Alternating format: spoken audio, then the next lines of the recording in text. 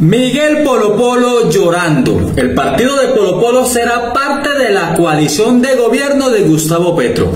Sí, señor, así como lo escuchan. El congresista Miguel Polo Polo se refirió a una situación que probablemente lo pondrá contra la pared. Esto porque el Partido Ecologista Colombiano, que nació del Consejo Comunitario Fernando Ríos Hidalgo Elegua, el cual le dio el aval a Polo Polo, le fue otorgada su personalidad jurídica por parte del Consejo Nacional Electoral. El problema radica en que este nuevo partido anunció su decisión de integrarse al pacto histórico, la coalición de partidos con la que el presidente Gustavo Petro llegó a la presidencia.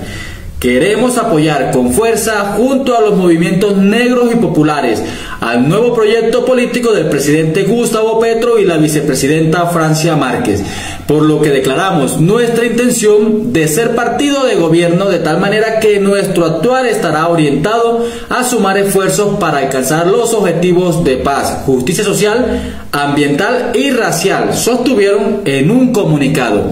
Esta decisión no va en vía con el trabajo que ha realizado Polo Polo en el legislativo, quien desde su curul en la Cámara de Representantes ha estado apoyando a la oposición y ha sido uno de los principales críticos de los proyectos del gobierno que se discuten allí en el Congreso. Por el lado de su partido argumentaron que una de las razones para unirse al pacto histórico es porque entienden que los propósitos no se pueden lograr de manera separada o desarticulada, Debemos trabajar mancomunadamente a través de una juntanza de movimientos.